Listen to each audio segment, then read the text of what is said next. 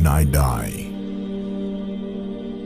When my coffin is carried out, you must never think I am missing this world.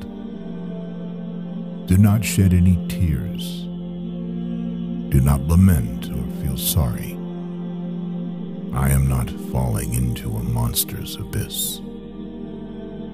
When you see my corpse carried out, do not cry for my leaving, for I am not leaving.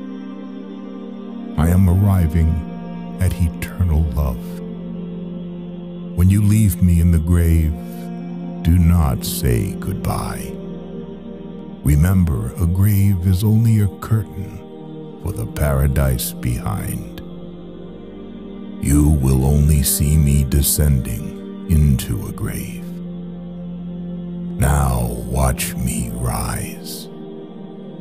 How can there be an end when the sun sets or the moon goes down? It looks like the end. It seems like a sunset. But in reality, it is a dawn.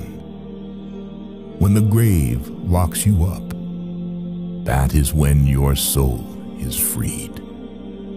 Have you ever seen a seed planted in earth not rise with new life? Why should you doubt the rise of a seed named human? Have you ever seen a bucket lowered into a well come back empty? Why lament for a soul when it can come back like Joseph from the well? When, for the last time, you close your mouth, your words and soul will belong to the world and no time.